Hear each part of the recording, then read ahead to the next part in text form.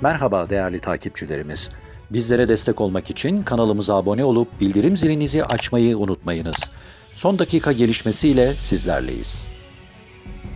Ürdün'de toplanan binlerce insan Filistin sınırına akın etti. Dün yasaklandığı açıklansa da Ürdün'de toplanan binlerce insan Filistin sınırına akın etti. Sınırda toplanan Ürdünlülere İsrail polisi müdahale etti.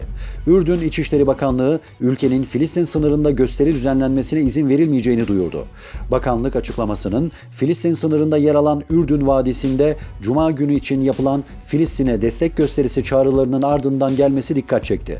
Ürdün resmi haber ajansı Petra'da yayınlanan bakanlık açıklamasında halkın güvenliğini sağlamak ve Filistin topraklarında yaşananlara ilişkin duygularını meşru bir şekilde ifade etme hakkını güvence altına almak amacıyla Avar ve sınır bölgelerinde toplantı ve gösteri düzenlenmesine yönelik çağrıda bulunulmasına izin verilemez ifadeleri kullanıldı. Emniyet güçlerinin bu tür gösterileri önlemek için her türlü tedbiri alacağı belirtilen açıklamada, Avar ve onu çevreleyen Filistin sınırı boyunca uzanan bölgelerin toplanmanın yasak olduğu alanlar olduğu ve Ürdün Silahlı Kuvvetleri'nin oradaki güvenliği sağlamakla sorumlu olduğu kaydedildi.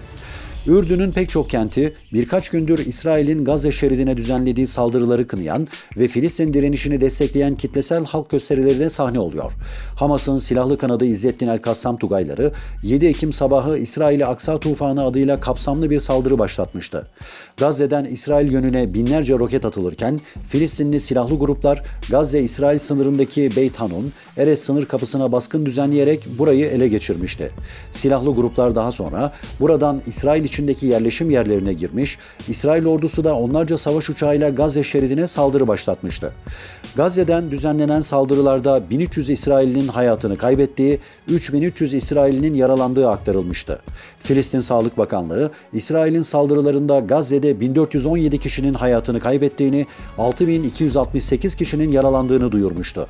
Ayrıca Batı Şeria'da İsrail güçlerinin ve Yahudi yerleşimcilerin saldırılarında 31 Filistinlinin öldüğü, yaklaşık 180 kişinin yaralandığı belirtilmişti. Kıymetli takipçilerimiz, bir haberimizin daha sonuna geldik. Bir sonraki haberimizde görüşmek üzere.